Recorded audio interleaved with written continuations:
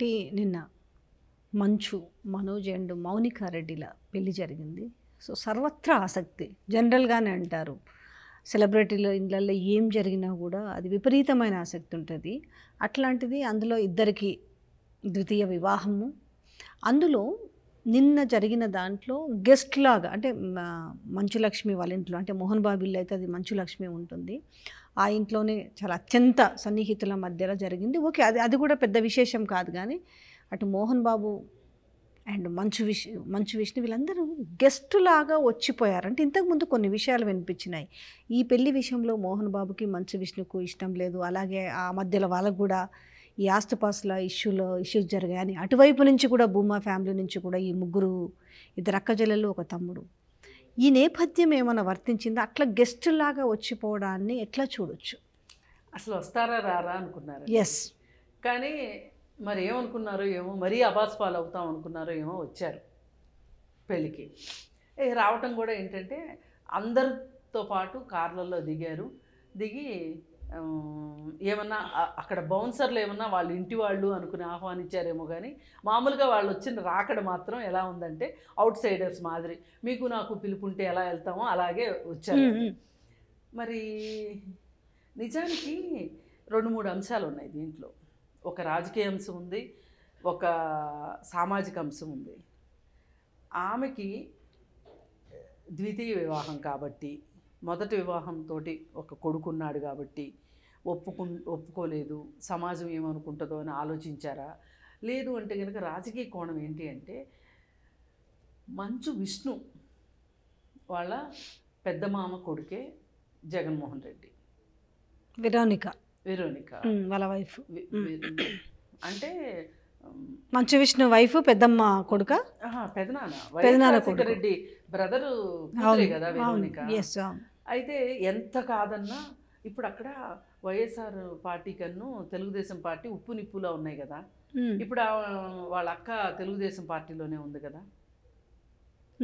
అందుకోసం అని చెప్పి మరి జగన్ దగ్గర వీళ్ళ మార్కులు ఏమన్నా పడిపోతాయేమో గ్రాఫ్ ఏమన్నా పడిపోద్దేమో భయం అయితే ఉంటుంది కదా వీళ్ళకి. అందుకని వద్దన్నారు అనేది ఒక ఒక అంశం. ఏది ఏమైనప్పటికీ ఆ కుటుంబం మొత్తంలోకి మనోజు ఏ ఇలాంటి ఏమి పట్టించుకోడు కాబట్టి పట్టుదలగా నేను ఆమెనే పెళ్ళి చేసుకుంటానని కూర్చున్నాడు పెళ్ళి చేసుకున్నాడు. సంతోషం. కానీ ఇంతలా అసలు ప్రపంచానికి అర్థమయ్యేట అర్థమైపోయేటట్లు వీళ్ళ అయిష్టాన్ని చూపించడం చూస్తే అంటే మనం ఇంకా అది మరవనే మరవలేదు. తారకరత్న తారక విషయంలో మరవనే మరవలేదు. అక్కడేమో. చావు ఇక్కడేమో పెళ్ళి పెళ్ళి కూడా అలాగే ఉంది కదా. అక్కడ పెళ్ళి కూడా అదే పెళ్ళి నుంచి చావు దాకా కంటిన్యూ అయింది కదా మనం. అయితే ఇంత ప్రపంచం చెప్పుకునేటట్లు ప్రవర్తించడం ఎంతవరకు సమంజసం అనిపించేలాగా ఉంది. ఇప్పుడు సినిమాల్లోనేనా మీరు ఆదర్శాలు చెప్పేది? ఆ అమ్మాయి జీవితం. స్థిరపడుతుంది ఆ అబ్బాయి జీవితం స్థిరపడుతుంది ఇద్దరూ సంతోషంగా ఉంటారు. ఇదేమి ఈ పెళ్ళిని చట్టపరంగా వ్యతిరేకించే వాళ్ళు ఎవరూ లేరు. అడ్డుగోడలు ఏమీ లేవు వాళ్ళకి. పెద్దవాళ్ళ ఇష్ట ఇష్టాలు తప్పితే అడ్డుగోడలు ఏమీ వేరే లేవు. అలాంటప్పుడు మీరు ఈ విధంగా చేయడము. పైగా ఇంకొకటి ఏమనిపిస్తుందంటే సరే మంచులక్ష్మికి కూడా నేను ఒక పట్టు పట్టాను కాబట్టి నేను ఆ అదే పట్టుదలతో ఉంటాను. కానీ నువ్వు పెద్దరికం తీసుకుని పెళ్ళి చేయని మోహన్ బాబుకి మోహన్ బాబే. ఇండైరెక్ట్గా ఆమెకు చెప్పాడా? ఎందుకంటే అన్నీ తనై చేస్తే అప్పుడు అన్నావు కదా ఇప్పుడు ఎలా చేసావు అని అన్ని ఇది వస్తుందని. అంటే వీళ్ళకి ఎలా ఉంటుందంటే కింద పడ్డా చెయ్యి మాదే పైన ఉంది అనే పద్ధతిలో ఉంటారు తప్పితే వీళ్ళు మార్చుకోరు. ఈ పెద్దవాళ్ళ మనస్తత్వాలు ఇలా ఉన్నాయి. ఇప్పుడు తారక రత్నం చూసుకుందాం. ఒక పది సంవత్సరాల పాటు కుటుంబానికి దూరం అయ్యాడు కదా. ఇవాళ ఒకవేళ దగ్గర చేసుకుందామన్నా మనిషి లేడు కదా. అందుకే ఈ- ప్రపంచంలో ఏది శాశ్వతం కాదు. ఉన్న రోజున ఉన్నట్టు సంతోషంగా మొన్న. మన ఇంటికి వెళ్ళినట్టున్నాడు బాలయ్య బాబు. కాళ్ళ దగ్గర కాళ్ళ మీద కూర్చొని అదే ఫంక్షన్లో. ఫంక్షన్లో. మీరే మాకు. అండగా ఉండాలి అని. అసలు నిజంగా ఆ అమ్మాయికి ఆ పరిస్థితి రావటం ఆ అమ్మాయికి కదా ఏ అమ్మాయికి వచ్చినా. ఎందుకంటే ఒక భార్య భర్త అనుకున్న తర్వాత వాళ్ళు ఏమి ఎన్ని ఊహించుకున్నారో ఎన్ని కష్టాలకు ఎదురొడ్డి వాళ్ళు పది సంవత్సరాలు టైంని గడిపారు తను. షేర్ చేసుకుంది కదా కొన్నాళ్ళు మనం కార్లోనే తిన్నాం కార్లోనే పడుకున్నాం. అనేసి గుర్తు. చేసుకుంది నిజంగా అండి మామూలుగా భగవంతుడిని అంటారు కదా అసలు ఇంత కనికరం లేదేంటి అని మా భగవంతుడిని నమ్మేవాళ్ళు అంటారు కదా నిజంగా కూడా కదా అసలు విధి ఎందుకు ఇంత వింత నాటకం ఆడిందా అనిపిస్తుంది వాళ్ళిద్దరి విషయం చూస్తుంటే. అంత అంత ఇష్టపడ్డాడు ఆమె ఇష్టపడింది మాటకి కట్టుబడ్డాడు అతను. అంత పెద్ద కుటుంబాన్ని అంత ఆస్తిపాస్తులు ఉన్న తల్లిదండ్రులను వదులుకోవడం అంత ఈజీ కాదు. వదులుకున్నాడు అంటేనే అతని ప్రేమ మొండితనం తెలుస్తున్నాయి. ఇప్పుడు వాళ్ళ నాన్న నన్ను క్షమించు నాన్న అని చెప్పి కొడుకుని కొడుకు శవం దగ్గర అనుకోవాల్సిన పరిస్థితి వచ్చింది అంటే అసలు ఏ ఒత్తిళ్ళు అతని మరణానికి దారి తీసినాయో కూడా బిహైండ్ ద నిజమే అది. ఏం జరిగి ఉంటుందో కూడా తెలియదు.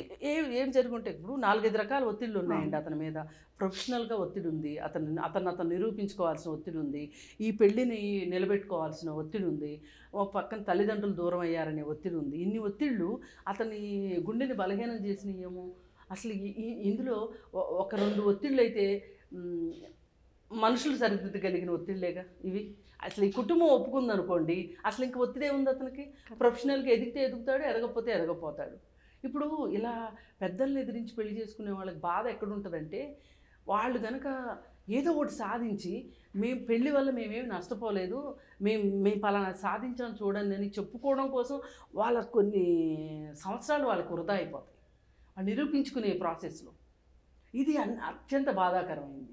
ఇప్పుడు ఆయన కొడుకు కావాలనుకుంటున్నాడు. కొడుకేడి అందుకే ఎవరైనా తల్లిదండ్రులు వీళ్ళది కొంచెం మెచ్యూరిటీ ఉన్న ప్రేమ కాదా అనేది చూడండి. కులాన్ని మతాన్ని డబ్బుల్ని చూడొద్దు. ఇప్పుడు నిన్నగాక మొన్న చూడండి విజయనగరం అమ్మాయి ఆ అబ్బాయి వైజాగ్ అమ్మాయి ఎప్పటి నుంచో పది సంవత్సరాల నుంచి ప్రేమించుకుంటున్నారంట. చదువులు అయిపోయినాయి ఉద్యోగాలు వచ్చినాయి. అతను పెళ్ళి చేసుకుంటాను అని అడిగితే కుదరదు మన క్యాస్ట్ కాదు అన్నారు. ఆ అమ్మాయి ఏం చేసిందంటే తల్లిదండ్రులతో ఎందుకు తగాదా పెట్టుకోవడం అని చెప్పి వదులుకోవటం ఇష్టం లేక వాళ్ళని బాధ పెట్టకూడదని సరే అని చెప్పి అతనికి చెప్పేసింది. నేను నిన్ను పెళ్ళి చేసుకోలేను మా అమ్మ వాళ్ళు ఒప్పుకోవట్లేదు అని. మరి ఆ- కక్ష పెట్టుకున్నాడు ఈమె లేని జీవితం నాకు ఎట్లా అనుకున్నాడో ఏమనుకున్నాడో ఒక కత్తి తీసుకొచ్చి ఆమె పొడి చేసి చంపేశాడు. ఇప్పుడు చూడండి రెండు ఈ రెండు కుటుంబాలకు ఏం మిగిలింది శోకం తప్పితే? ఇప్పుడు ఆ అబ్బాయి ఉన్నా జైల్లో ఉండాల్సిందే రేపు పొద్దున. ఇక్కడ ఏమన్నా ఈ ఇక్కడేమో ఈ అమ్మాయి చనిపోయింది. ఇప్పుడు కనీసము ఈ టీనేజ్ లవ్ ఇట్లాంటి వాటిని తల్లిదండ్రులు వ్యతిరేకించారంటే ఒక అర్థం ఉందండి. ఇంకా అసలు ఈరోజు కులం కులం కులం అని పట్టుకుని కూర్చొని మతమను లేకపోతే డబ్బులను సొసైటీలో నాకు స్టేటస్ ఇక్కడ సిమిలారిటీస్ కనిపిస్తున్నాయి. అంటే వీళ్ళేమో సరే ఈరోజు గెస్టులుగా వచ్చారు. వాళ్ళేమో అసలు సస్సే మీరు అనడానికి అది నాకు తెలిసి తంది కూడా ద్వితీయ వివాహం అనే దాని మీద? అంతే ఉంటాయండి వాళ్ళకి. కాకపోతే దానికన్నా కూడా ఇప్పుడు మంచులక్ష్మి కూడా ద్వితీయ వివాహమే. దానికంటే కూడా వాళ్ళకి రాజకీయ కారణమే చాలా గట్టిగా ఉన్నట్టుంది. జగన్తో పేచీ పడడం వాళ్ళకి ఇష్టం లేదు. ఆంధ్రాలో వీళ్ళకి చాలా ఆస్తులు ఉన్నాయి మోహన్ బాబు వాళ్ళకి.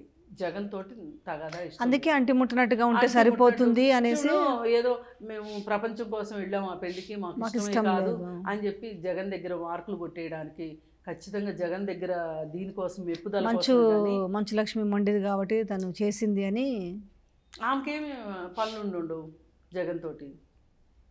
పైగా ఎంత అవునన్నా కాదన్నా ఆ ఇంటి మొత్తంలోనూ కొంచెం ప్రపంచాన్ని ఎక్కువ చూసింది మంచులక్ష్మియే ఆమె ట్రోల్ అయ్యే విషయాలకు ట్రోల్ అవుతుంటుంది. కానీ ఏదైనా ఆమె దగ్గర ఒక ఒక నాలెడ్జ్ కావచ్చు ఒక విస్తృతి అయితే ఉంది ఆమె దగ్గర. అందుకే సరే ఏదన్నా కానీ వీళ్ళకి కూడా నిజంగా సో సాడ్లే తల్లి లేక తండ్రి లేక తీర్చిదిద్దే వాళ్ళు లేక అంటే అటు ప్రాపర్టీస్ విషయంలో ఆల్రెడీ. గొడవలు వాళ్ళు మీడియా ముందుకు రావడానికి. కూడా ఓ రోజు ఆయన సిద్ధపడ్డాడు ఎవరు. జగత్ విఖ్యాత్ రెడ్డి. మళ్ళీ తర్వాత ఏమైందో కానీ మళ్ళీ అక్కర్లు కూర్చొని ఏం మాట్లాడుకున్నారో వాళ్ళ మేనమామతో కూడా పడట్లేదు అవును. మేనమామతో పడలేదు. పడట్లేదు కదా మేనమామ కూతురు దుమ్మెత్తి పోస్తా ఉంది అతని మీద ఏదో వీళ్ళు ఏదో హత్య చేయించడానికి ఏదో చేయబోయారని చెప్పి ఆమెని ఆ బోండా ఉమా కొడుకు ఇచ్చారు రాజకీయ ప్రాబల్యం కోసం. ఇవన్నీ ఎట్లా సో? ఇప్పుడు ఈ రెండు వివాహాలని తల్లి చూడలే వీళ్ళిద్దరు ద్వితీయ వివా- వివాహాలని తల్లి చూడలే చూడలేదుగా? తల్లి చనిపోయింది. కానీ నిజానికి తల్లిదండ్రులు లేని లోటు ఎంత ప్రస్ఫుటంగా కనిపిస్తుందో అక్కడ. ఏదేమైనప్పటికీ అండి ఈ సందర్భంగా ఈ సెలబ్రిటీస్ జీవితాలే కాదు ఈ సెలబ్రిటీస్ జీవితాల కన్నా మామూలు వాళ్ళ జీవితాలకి పెద్ద తేడా ఏముండదు కొంచెం డబ్బులు ఎక్కువ ఉంటాయి అంతకంటే ఏమీ లేదు. ఇప్పుడు అక్కడ కూడా చూడండి ఇప్పుడు నేను ఇందాక చెప్పిన ఉదాహరణ ఆ అమ్మాయి చనిపోయింది కదా చక్క చదువుకున్న అమ్మాయి ఉద్యోగం చేసుకుంటుంది ఆ అబ్బాయి కూడా మంచిగా ఉద్యోగం చేసుకుంటున్నాడు. ఎంత బాగుండేవాళ్ళు వాళ్ళు అసలు. ఎందుకు ఈ తల్లిదండ్రులు ఈ కులాన్ని పట్టుకుని ఇట్లా వేలాడుతున్నారో అర్థం కావట్లేదు.